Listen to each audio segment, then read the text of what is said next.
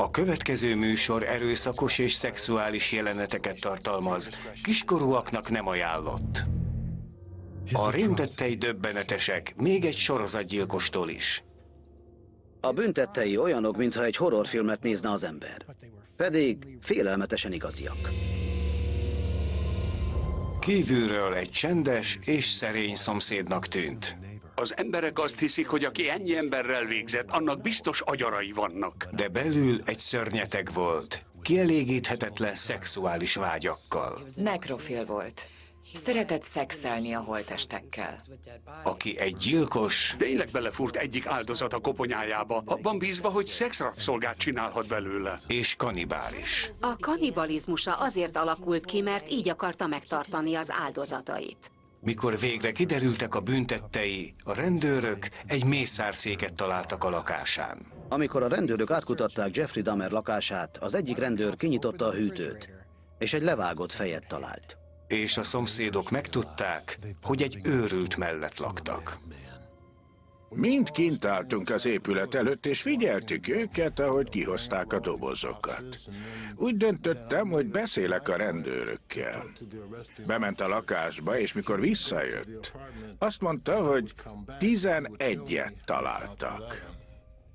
Majd amikor újra visszajött, mondta, hogy 15-öt találtak. És azon tűnődtem, hogy vajon véget ére valaha. Ő Jeffrey Dahmer, Kell egy fuvar? Egy introvertált fiatalember, akinek kevés barátja volt, akinek szörnyű gondolatairól senki nem tudott, még a gyilkosságai híressé nem tették. Gyilkosok reflektorfényben. Jeffrey Dahmer. 1991-ben Jeffrey Dahmer felfoghatatlan büntetteinek feltárása sokkolta a világot, és mindenhol vezető hír lett belőle. Részletesen vizsgáltuk Jeffrey Dahmer ügyét, mert olyan volt, mint a bárányok hallgatnak megtörtént verziója. Letartóztatása után a Milwaukee kanibál azonnal hírhet lett. Jól ismertem a Jeffrey Dahmer ügyet, ahogy szinte egész Amerika. Végigkövettem a tévén keresztül. Öt másik áldozatot már sikerült azonosítanunk. A rémtettei annyira hihetetlenül döbbenetesek voltak, hogy számtalan könyv és tévéműsor is készült Dahmerről. Chevy Chase még viccet is csinált Jeffrey Dahmer kanibalizmusából 1992-ben egy Saturday Night Live adásban.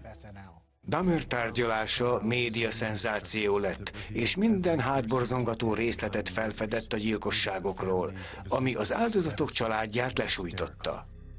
Gyűlöllek, Jeffrey, gyűlöllek! A világ megdöbbenve hallgatta Dahmer rémtetteinek részleteit.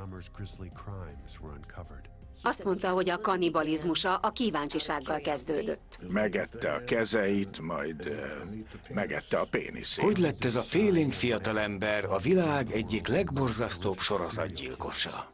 Egyértelmű, hogy érdeklődött a holtestek és az állattetemek iránt. Jeffrey maga mondta, hogy a gimnáziumi technika órán egy disznómagzatot boncoltak, és annyira kíváncsi volt rá, hogy az egyiket hazavitte magával. Majd elkezdett macskákat és kutyákat boncolni, és megérintette a belső szerveiket. A holttestek iránti vonzalma már tínédzser korában elkezdődött. Szülei sokat veszekedtek, és a középiskolai évek alatt Jeffrey Dahmer szinte alig lehetett észrevenni társai között. Ami Jeffrey gyerekkorát és különösen az iskolai időszakot illeti, kezdetben meglehetősen szörnyű volt neki. Gúnyolták és viccelődtek vele. Olyan gúnyneveket aggattak rá, mint kettyós, és ezt úgy próbálta kompenzálni, hogy belement a dolgokba, és elkezdte az osztálytársak előtt játszani magát. És bohócot csinált magából. Nem gondolom, hogy természetes lett volna neki ez a bohóckodás. Szerintem csak így próbált alkalmazkodni, megkedveltetni magát a többi diákkal. Elképesztő alkalmazkodási képessége volt már gyerekként. És így védte önmagát és a személyiségét az iskolában. De ez egyben hatalmat is adott neki más gyerekek fölött. Ekkorra Dahmer magassága elérte a 180 centimétert, és súlyzózni kezdett otthon. Legbelül a homoszexualitása miatt is szenvedett. A 80-as évek végi, 90-es évek elejé társadalmakban a melegek elég gyakran váltak a gimisek célpontjaivá. Rágalmazták, gúnyolták őket. Becsmérelték az eredményeiket. Szerintem minden meleg férfinak rémisztő lehetett abban az időben, mert akkoriban a homoszexuálisoknak a világ nem volt biztonságos hely. De Dahmer nem csak homoszexualitását titkolta. Sötét dolgokról fantáziált, és elhatározta, hogy véghez is viszi őket. Tinédzserként Dahmer megszállottja lett egy férfinak, aki minden nap a házukhoz közeli úton futott. Megpróbált rájönni, hogyan kerülhetne hozzá közelebb fizikailag. Dahmer azt tervezte, hogy leüti egy baseball ütővel. Úgy érezte, hogy a férfi máshogy nem ment volna bele, amit valószínűleg jól ítélt meg. Ezért úgy döntött, hogy erőszakkal kényszeríti rá az akaratát, és akkor olyan szexuális dolgokat művelhet vele, amiket csak akar. De a férfi aznap nem futott arra, így Dahmer terve meghiúsult. Ismeretlen okból többé nem próbálta megtámadni azt a futót. Hogy elfolytsa vágyait, Dahmer az alkoholhoz nyúlt, amit az iskolába is becsempészett. Dahmer valójában nagyon okosan használta az alkoholt védekező mechanizmusként. Szerintem az alkohol tudatta vele, hogy a fájdalom és a szenvedés elviselésének legegyszerűbb módja az, ha kába lesz. Mit csinálsz, Jeff? Még csak reggel fél kilenc van. Ez a gyógyszerem. Ivott, és az osztálytársai gyakran mondogatták, hogy érződött rajta az alkoholszag. A története klasszikus esete annak, amikor felmerül a kérdés, hogy hol a fenében voltak a felnőttek? Alkoholt ívott óra alatt, állatokat boncolt fel, és állítólag senki nem szólt egy szót sem. Otthon Dahmer szinte láthatatlan volt. Főleg miután a szülei váltak, az apja Lionel egy közeli motelbe költözött. Miközben Jeffrey otthon maradt az édesanyjával, Joyce-szal és öccsével, Daviddel. Az iskolán kívül Dahmer megszállottsága az állatok felé tovább folytatódott. Mindent titokban csinált, az állatkínzást is. Pedig egy egész állattemető volt az Ohiói otthonában, ahol póznákra rakta ki az állattetemek fejét. És egy temetőt rendezett be magának. 1978. június 4-én Dahmer leérettségizett a középiskolában.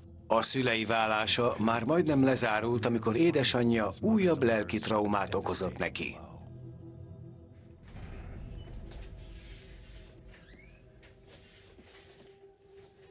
Jeff, úgy döntöttem, visszaköltözöm Wisconsinba az öcséddel. Szeretnék közelebb lenni a családomhoz, a barátaimhoz, és új életet kezdeni. Jeff, ígérd meg, hogy nem mondod el apádnak, hogy hol vagyok. Ígérem, nem mondom el senkinek. Az anyja összepakolt és elvitte Davidet, és ott hagyta Jeffrey-t egyedül a házban.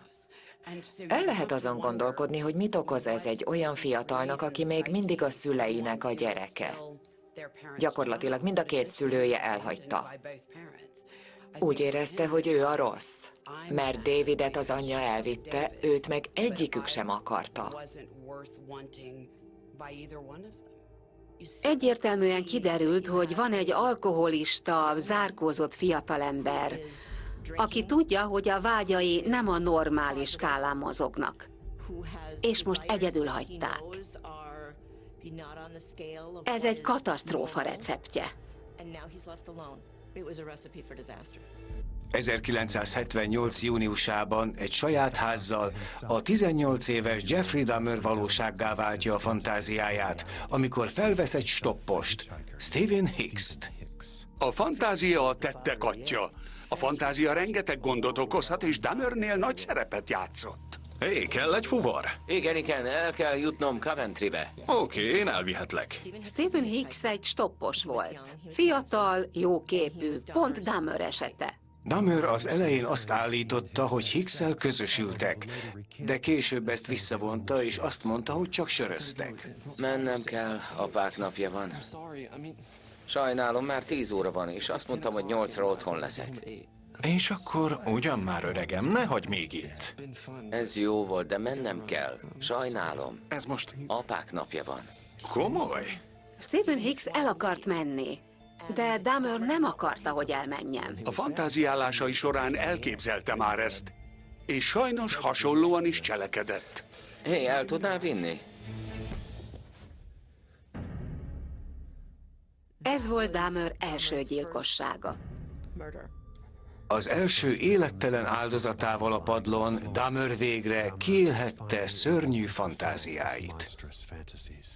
Miután megölte Stevent, többször is önkielégítést végzett a teste fölött, és valószínűleg a holttestbe is. És még a feldarabolási folyamat közben is felizgult annyira, hogy újra önkielégítenie kellett. Dahmer bepakolta Stephen Hicks testrészeit egy szemetes zsákba.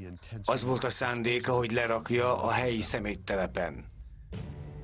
Az úton félreállították egy kisebb közlekedési kihágás miatt, miközben Stephen Hicks feldarabolt teste ott volt a csomagtartóban. A rendőr nem tartóztatta le, szerintem még meg se bírságolta. Úgy tűnik nem gondolta, hogy Dahmer ivott vagy ilyesmi. Szerintem az is érdekes, hogy Jeffrey Dahmer többször is találkozott rendőrökkel, amikor elkaphatták volna. De mindig megúszta. A meredek helyzet után Dahmer hazatért, és elégette Hicks feldarabolt testét az udvaron. Nem sokkal később, 1978. augusztusában az apja Lionel visszatért a családi házba, és ott találta egyedül élő fiát.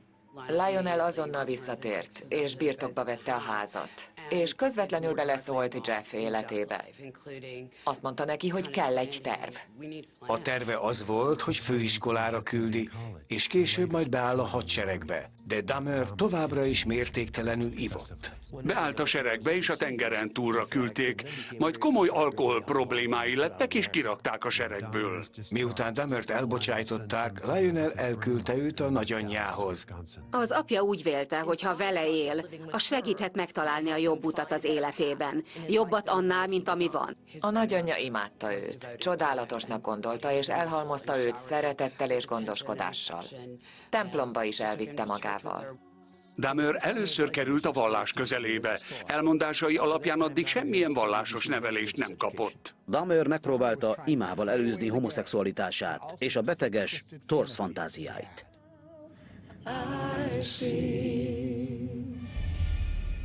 De még az ima sem nyújtott megnyugvást Jeff kielégíthetetlen fantáziáinak, és egy szokatlan tárgyon elkezdte kiélni őket.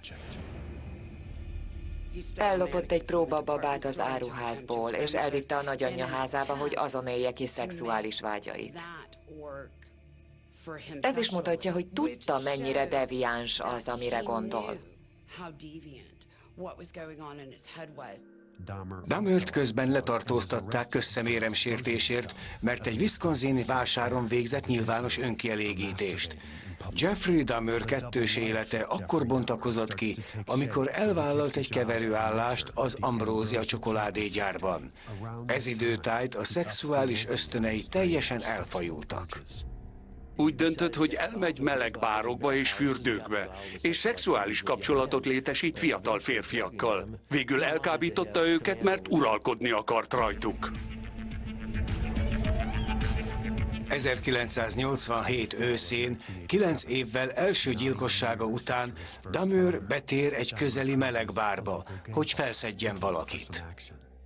Dahmer egyedi ízlése miatt egy olyan partnert akart, aki nem reagál fizikailag, és nem kölcsönös izgalomkeltést. Egy olyan partnert akart, akit teljes mértékben irányíthatott.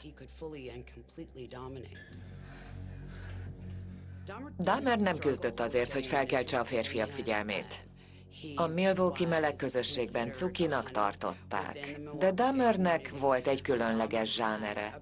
Az olyan fiúkat szerette, akik úgy néztek ki, mint a táncosok. Alacsonyabb, sovány, izmos fiúk. Ne zavarj! Novemberben Dahmer démonjai a felszínre törnek, amikor találkozott a másik városból való Steve Tomival a 219-es klubban. Dahmer találkozott ezzel a sráccal egy meleg bárban, Milwaukee-ban, és felvitte egy hotelszobába. Azt tervezte, hogy begyógyszerezi az italát, és közösül vele. De aztán megváltoztak a dolgok. Parancsolj. Ó, oh, köszi.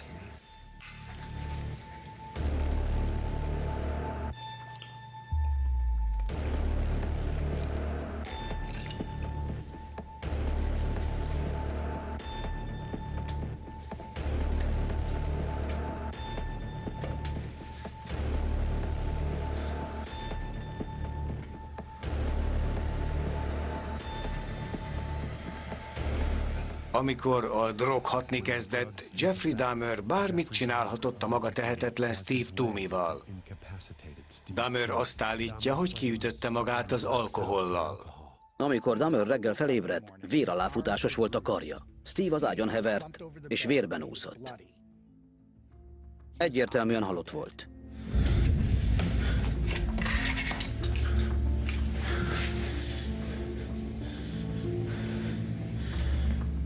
Te jó ég.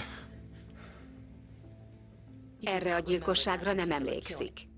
De volt ott egy holtest, amivel csinálnia kellett valamit. Dahmer szerzett egy bőröndöt, és elvitte a testet a nagyanyja házába. Ezután feldarabolta Steve holtestét, és a fejét megtartotta trófeának. A második gyilkossága után Dameron elhatalmasodott az érzés, hogy újra öljön. Azt mondta, hogy nem is próbálta megfékezni. Két hónappal később Dahmer találkozott a 14 éves James Dockstaterrel egy buszmegállóban. Jeffrey elcsábította áldozatát a nagyanyja házába, majd megölte és feldarabolta. Dockstater maradványait sosem találták meg. 1988 márciusában Dahmer áldozatainak száma négyre ugrott, mikor megfojtotta és feldarabolta a 22 éves Richard Guerrero-t a pincéjében.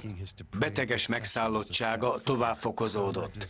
Dahmer savban oldotta fel Guerrero húsát, kifőzte a koponyáját, és később kihajította a kukába. Guerrero maradványait nem találták meg. Megölte ezeket az embereket két és fél óra szexuális élvezetért. Már kora este elhatározta, hogy le fog csapni még aznap. Ezért hangulatba hozta magát, kikészítette a drogot, majd elindult a férfi vadászatra. Ezek az emberek egyszer felébredtek, és meg kellett ölnie őket emiatt. Aztán ott maradt újra a holtesttel. Ez egyfajta folyamattá vált.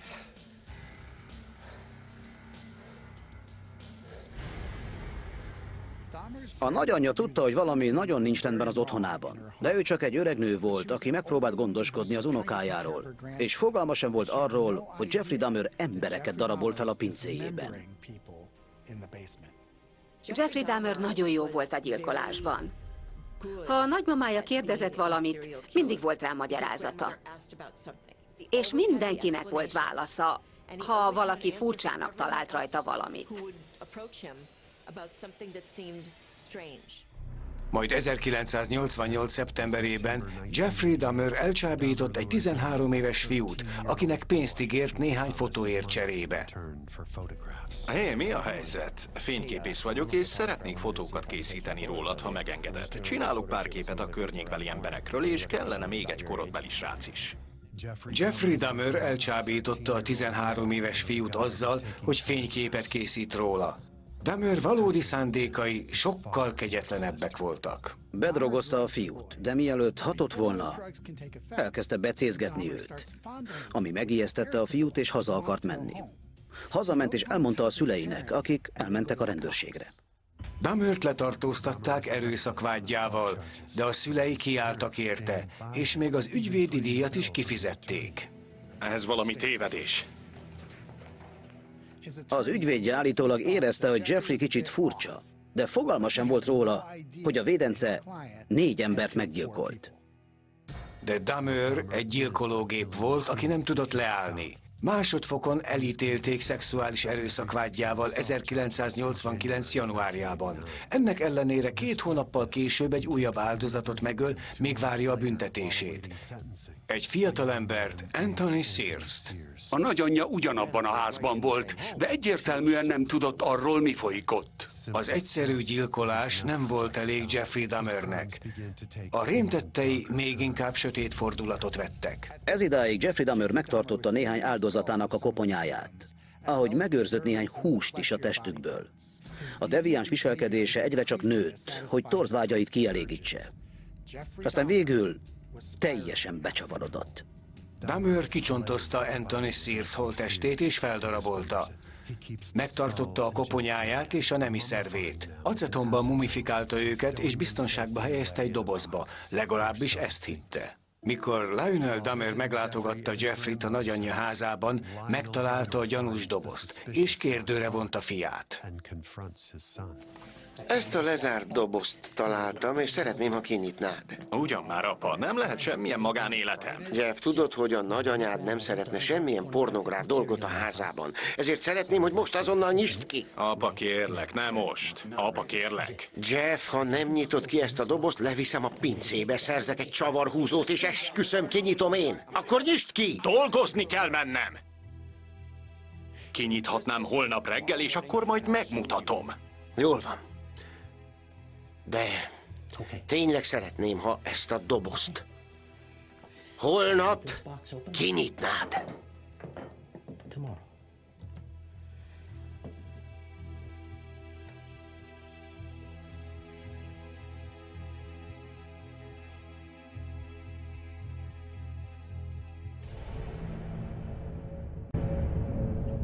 Jeffrey elvitte a szörnyű trófeákat tartalmazó dobozt a munkahelyére, és a csoki gyári szekrényébe rakta. Ennél a pontnál Jeffrey Dahmert elkapták, majd elengedték. Elkapták, majd elengedték. És senki sem tudta, hogy egy gyilkos. Szóval, ha nem vonják felelősségre a büntetteiért, miért állna le? Májusban Damört elítélték molesztálási ügyben. Öt év próbaidőt kapott, és egy évig részt kellett vennie egy munkaprogramban, ami lehetővé tette, hogy megtartsa az állását a csoki gyárban. Azt is elrendelték, hogy terápiára kell járnia. Dahmer mutogatta magát egy gyereknek. Vád alá helyezték, és bűnösnek találták. A bíróság munkaszolgálatra küldte. Ami azt jelenti, hogy naponta 8 órára elhagyhatja a börtönt vagy a fegyházat, kimehet onnan dolgozni, és utána azonnal vissza kell mennie oda. Ez lett volna az eljárás.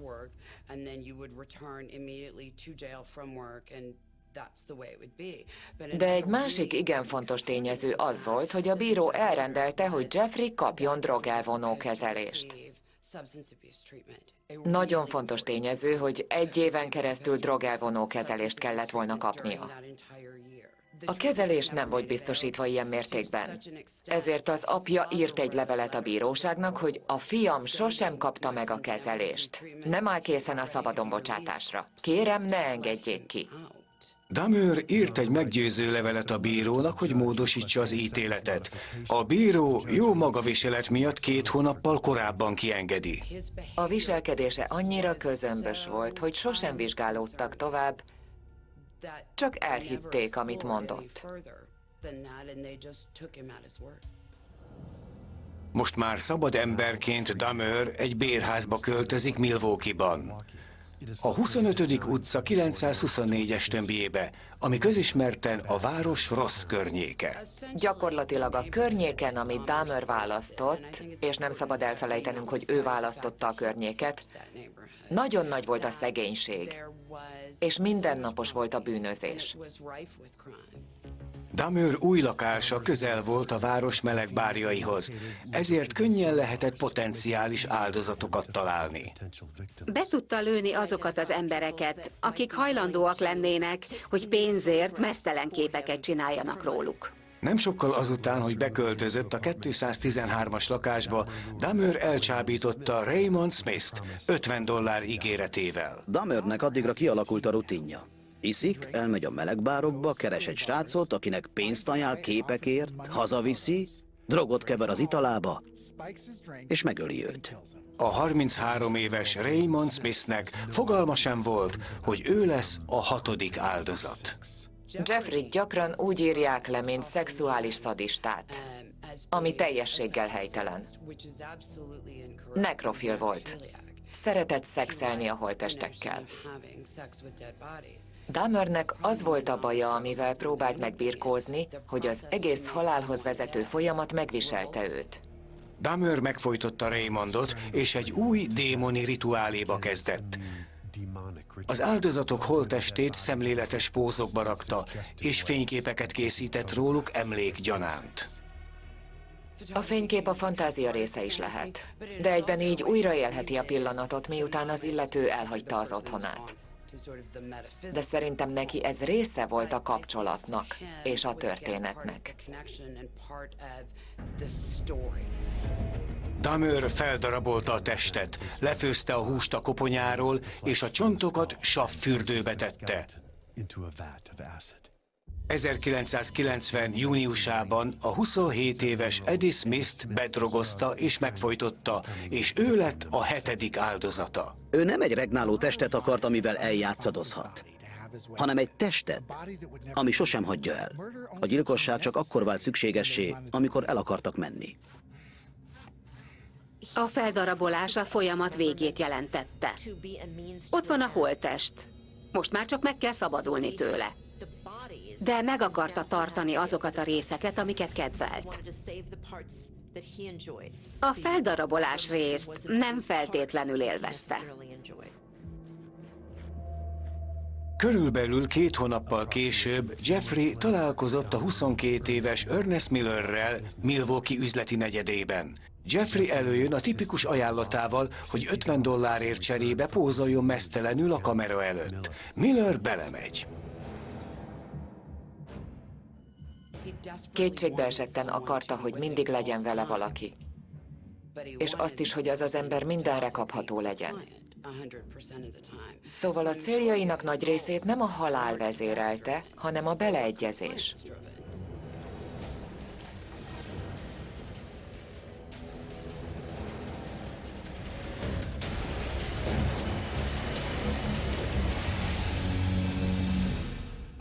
Pár héten belül Dahmer megölte a 23 éves David Thomas-t. Megszabadult a holtestől, és nem tartotta meg trófeának. A többi áldozat testével ugyanakkor Dahmer olyat művel, amiről hírhetté vált. Nem csak megölte az áldozatait. Gyakran megfőzte őket, és evett a testükből. Dahmer azt állítja, hogy a kanibalizmusa azért alakult ki, mert így akarta az áldozatait magával tartani. Nem evett rendszeresen a testekből. Nem ez állt a középpontban. Nem azért csinálta, hogy a holttestekből lehessen. Azért evett az áldozatokból, mert szexuálisan kielégítette. De ezzel egy érzelmi hiányt is pótolt. A Milwaukee rendőrség nem tudta, hogy egy sorozatgyilkos brutálisan megölt kilenc fiatal férfit, és a leállásnak jelét sem mutatja. Jeffrey Dahmer tökéletesítette az emberölés művészetét. Videókamerát szerelt fel a lakásába, és extra zárakat a bejárati ajtóra. Olyan gondosan szabadult meg a testektől, hogy sosem találták meg őket. A rendőrség nem tudta, hogy egy sorozatgyilkos van a városukban. Emlékszem, mikor láttam bemenni a lakásába és kicsit furának is tartottam, hogy jobbra-balra néz, mielőtt belépne az ajtón. Ez kicsit gyanúsá tette, de el se tudtam képzelni, hogy embereket gyilkolászik. 1991 elején Damör áldozatainak száma két számjegyűvé duzzadt, mikor megölte tizedikként Curtis Strotert.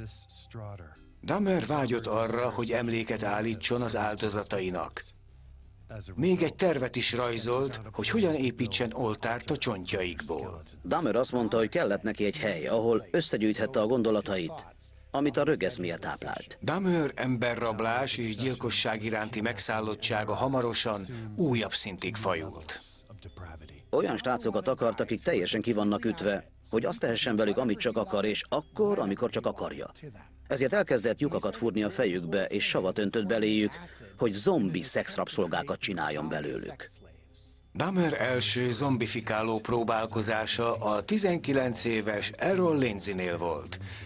Miután a terve kudarcot vallott és Errol meghalt, újra próbálkozott a 31 éves Tony Hughesnál. Szexuális irányítást akart, és egyre erőszakosabb lett. Lyukat furt az egyik áldozata fejébe, mert abban bízott, hogy a szex rabszolgájává teheti.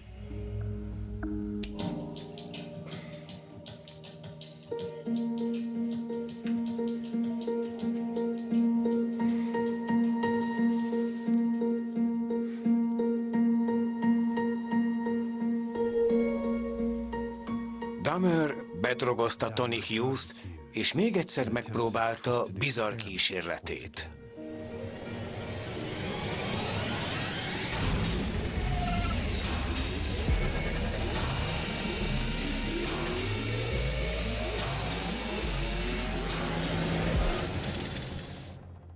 Hazaértem, és hallottam, hogy megy egy fűrész. Egy fűrész vagy egy fúró.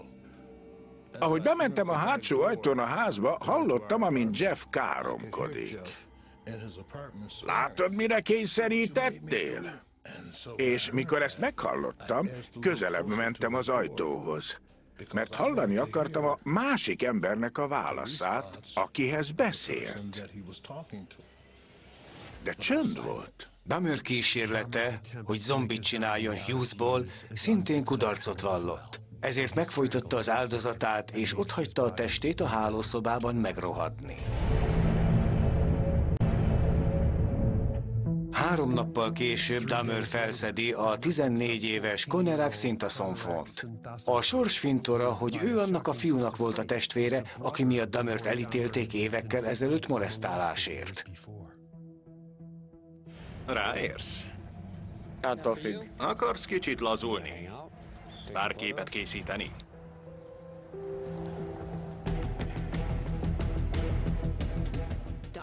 Dahmer visszavitte a lakására. Nézd rám vissza a vállat felett. Pénzt ígért a mesztelen fotókért. Parancsolj. Dahmer bedrogozta őt. És miután bedrogozta, furt egy lyukat Konerák fejébe.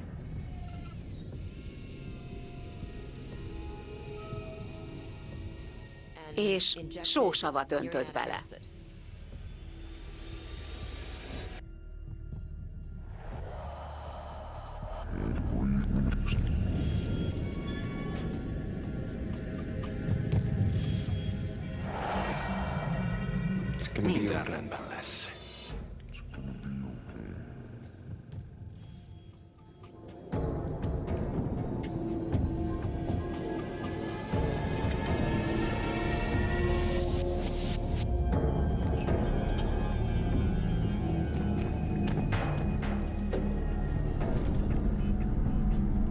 Szerintem egyértelmű, hogy Dahmer úgy hallgattatta el a lelkiismeretét, hogy ivott a gyilkosság előtt. Miután savat öntött a 14 éves Konerak fejébe, Dahmer elment egy italboltba.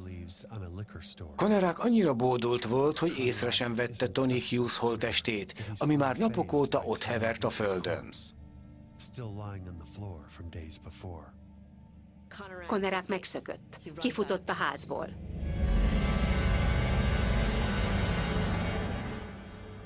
Egy nő az Oxford bérház melletti épületből felhívta a rendőrséget.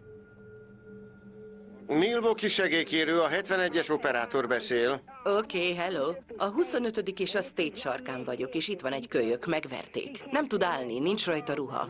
Komolyan megsérült. A rendőrség kiérkezik, és Dahmer odakint van.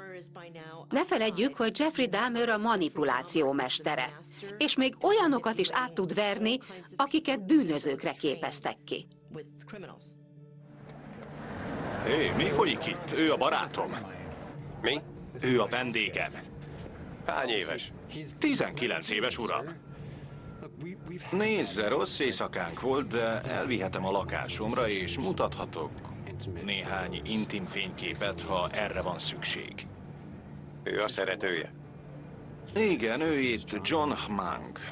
John túl sokat ivott. Kínos, de szokott ilyet csinálni. Egy lyukat fúrt Konerák feje tetejére, és sósavat öntött bele. Konerák képtelen volt beszélni. Ez komoly? Hova megy vele? Nem már! Damer visszasétál a rendőrrel és konerákkal a lakására, miközben a rendőröknek fogalma sincs, hogy Tony Hughes holteste foszladozik a mellettük lévő szobában. Ezekről a fotókról beszéltem. Azok a ruhái. Oké, okay. köszönjük az idejét. Itt hagyjuk magára a barátját. Vigyázzon jól rá. Egy dermesztő és mára legendássá vált döntési hiba miatt a rendőrök otthagyják Konerákot későbbi gyilkosára. És fogalmuk sincs, hogy egy holtest volt a szomszéd szobában. Annyira magabiztos volt, hogy a rendőrség hitt neki. És nem hallgatta meg ezt a fiatal fiút. Hátat fordítottak neki, és magára hagyták vele. És Dahmer beszámolója alapján 30 perccel később az a fiatal fiú már halott volt. Dahmer másnap szabadságot vett ki a csokoládégyárban, hogy feldarabolja a testeket. Mikor végzett a darabokat, egy savval teli hordóba tette, és lelakkozta a koponyájukat. Jeffrey Dahmer démoni gyilkolásba kezdett és gyorsan követték egymást az áldozatok. Ezután megölte a 20 éves modellt Matt Turnert, a 23 éves Jeremiah Weinbergert és a 24 éves Oliver Lacey-t. Jeffrey Dahmer tombolása alatt elvesztette uralmát a szadista démonjai felett. A lakásból ocsmány szog jött a rothadó holtestek miatt, ami elterjedt az épületben, és a szomszédok is felfigyeltek rá. Azt mondta a szomszédainak, hogy a lakásából áradó bűz a rohadt húsból jön, a tönkrement hűtője miatt. De az igazság az volt, hogy az áldozatainak megcsonkított holttestéből áradt. Annyira rossz volt a szak, hogy felkeltem az éjszaka közepén, kimentem az ajtóba, kinéztem a folyosóra. És akkor először láttam a halált. Szinte látni lehetett a dögszagot. Pár nappal Oliver Lacey meggyilkolása után Damert kirúgták a csoki gyárból, mert túl sokat hiányzott. Nem sokkal később találkozik a 25 éves Joseph Breithoff-tal egy buszmegállóban, akit megfojtott és feldarabolt a lakásán. Majd 1991. július 22-én Jeffrey Dahmer összefut Tracy edwards egy bevásárlóközpont előtt, és áthívja magához, hogy készítsenek néhány képet.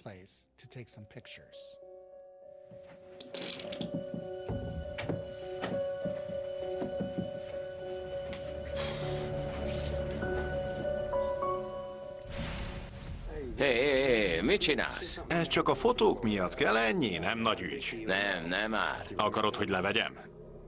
Jól van. Hadd hozzak előtte neked egy italt. Mit szólsz? Rendben? Hozok egy italt. Csak maradj.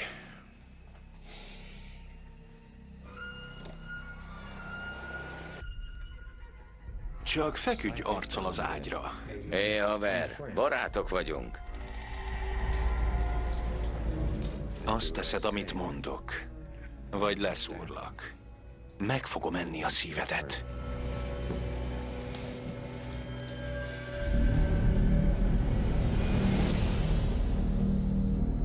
Tracy Edwards nyugodtan töltötte a következő öt órát, és próbált barátkozni Dahmerrel.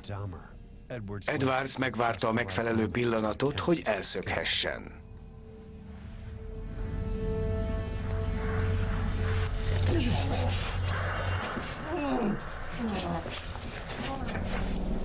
Tracy Edwards kiszaladt, és talált egy rendőrjárőrt. Megkérte őket, hogy vegyék le róla a bilincset, de nem sikerült nekik. Ha a rendőrök le tudták volna szedni a bilincset, akkor vége is lett volna. De nem tudták leszedni, ezért vissza kellett menniük Damer lakására, hogy megszerezzék tőle a kulcsot. Ez a csávó bilincselt meg, és nyomott a melkasomhoz, és azt mondta, hogy megeszi a szívemet. Nem, nem, maga maradjon itt, majd én kihozom. Nem, nem, én bilincseltem meg, de bent van a hálóban a kulcs. Mindjárt hozom.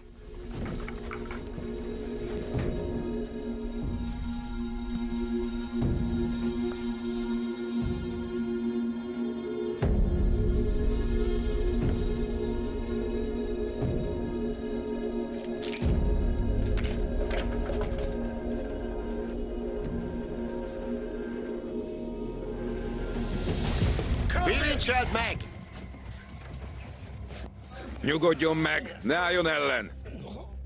De ebből már nem tudta kibeszélni magát, ezért bevitték. És ekkor kezdődött meg a testek és az áldozatok utáni igazi kutatás. Fényképes bizonyíték, levágott fejek, üres koponyák, vérben úszó emberi szívek, egy teljes felsőtest, levágott kezek, két csontváz és 74 fénykép volt a rendőrség által talált bizonyítékok között. A rendőröket sokkolta, amit Jeffrey Dahmer lakásán találtak. Mind kint álltunk az épület előtt, és figyeltük őket, ahogy kihozták a dobozokat. Úgy döntöttem, hogy beszélek a rendőrökkel. Bement a lakásba, és mikor visszajött, azt mondta, hogy 11-et találtak. Majd mikor újra visszajött, mondta, hogy 15-öt találtak. Tűnődtem, hogy vajon véget ére valaha. Damer mindent beval, és később a tévének is elmondja, mennyire megkönnyebbült, hogy kiderült a titka. Jeffrey Dahmer ismert lett, és mikor az egykor ártatlannak tűnő kanibál otthoni videói kiszivárogtak, a szavai más értelmet nyertek. A média megőrült ezért a történetért. A People magazin többször is kirakta a címlapra. Elképzelhetetlen horror történet volt, de az emberek nem tudtak félrefordulni. Damert 16 rendbeli gyilkossággal vádolták. Nem vádolták meg Steve Toomey meggyilkolásával, mert a holteste sosem került elő. Damer bűnösnek vallotta magát, de őrültnek is. Amikor megjelent az első tárgyaláson, besétált a terembe, és úgy nézett ki, mint a szomszédod.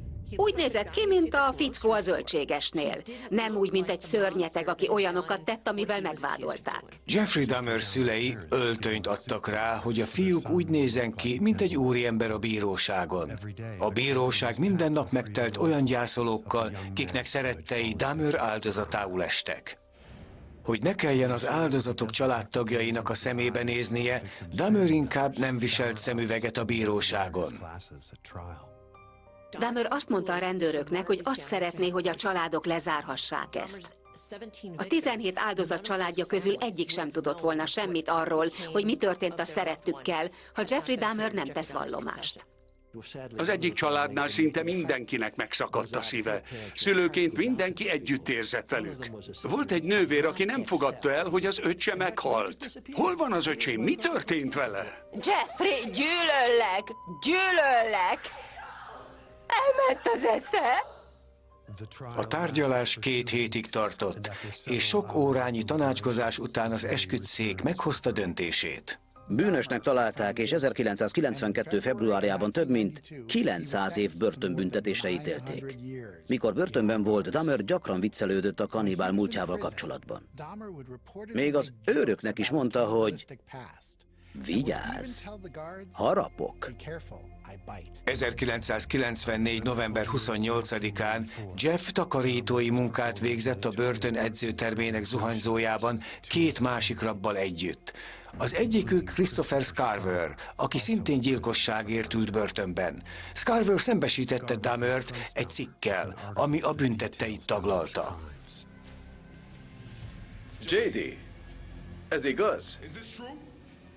Igaz, amit az újság ír rólad?